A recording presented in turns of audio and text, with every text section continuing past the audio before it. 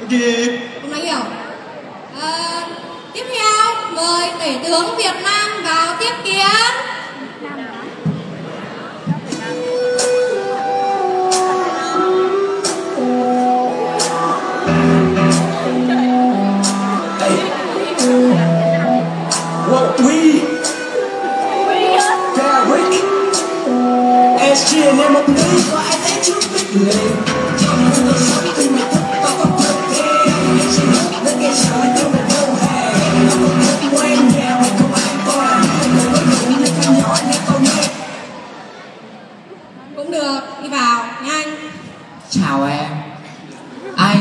Là Chacole Te Tèo Hôm nay anh đến đây để hỏi Bưởi về làm vợ Bưởi biết không?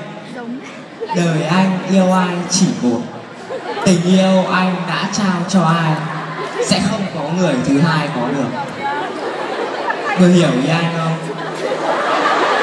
Một, hai, ba năm anh có đánh rơi nhịp nào không? Không em ạ bởi vì nhịp đấy anh đã giấu trong trái tim này. Nhịp đấy khắc ghi tên em. Nhịp đấy khắc ghi tình yêu anh trao cho em. Anh có thể nói cho hàng nghìn, hàng vạn người Rằng anh yêu em.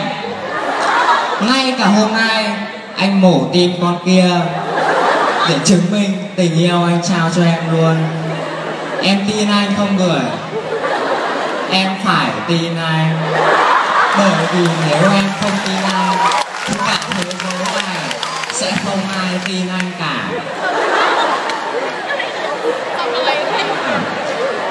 Ngay chiều nay, Anh sẽ cho đệ anh Bắn một cái biển ở đây, Để cho cả thế giới này biết rằng Bưởi là của tao.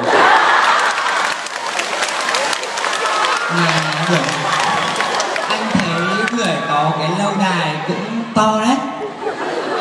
sau này mình cưới nhau ấy, chúng mình cũng có một cái như thế này này.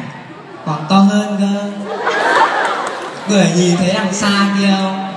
Đấy, chính là lâu đài của anh và bưởi. Bưởi cưới anh đi, chúng mình sẽ có phòng riêng. Anh sẽ mua cho bưởi một phòng để nuôi chó luôn. Anh là anh yêu ai? Là anh yêu chân thành áo đỏ, áo xanh chứng giám cho anh. Rằng tình yêu anh trao cho bưởi là tình yêu chân thành, là chu lớp của quý